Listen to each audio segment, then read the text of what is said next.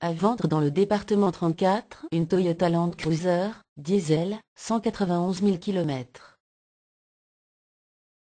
Millésime 1999.